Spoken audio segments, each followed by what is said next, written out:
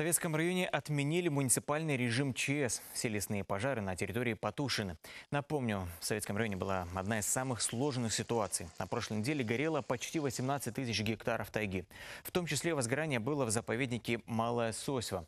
Тушили огонь в Советском районе больше 300 человек. Также муниципальные режимы ЧС отменили в Октябрьском районе и в Нягане. Добавлю, в Югре продолжает действовать особый противопожарный режим.